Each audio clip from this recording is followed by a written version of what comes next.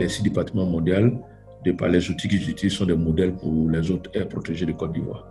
Toutes les activités économiques de l'Afrique sont basées sur les ressources naturelles, les ressources en eau, les forêts. Donc la conservation de la biodiversité est très importante. Maintenant, quand vous voyez également les sites qui sont classés six départements mondiaux, et quand vous voyez leur valeur universelle exceptionnelle, vous voyez que c'est les critères qui sont définis, c'est en général les sites qui sont en très bon état de conservation. L'horizon du patrimoine euh, décrit certes les performances, les réussites, mais il décrit aussi les défauts. Parce qu'il faut le dire que la gestion des sites du patrimoine mondial, ce n'est pas un fleuve tranquille. Hein.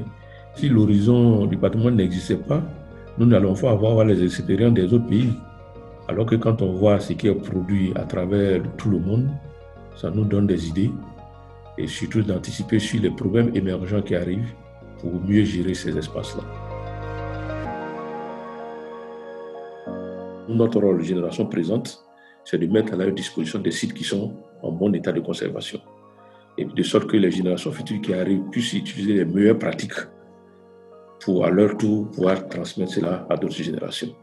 Donc véritablement, je pense que ces échanges-là, avec euh, la contribution de l'UICN, ça nous permet d'avoir un système de gestion performant.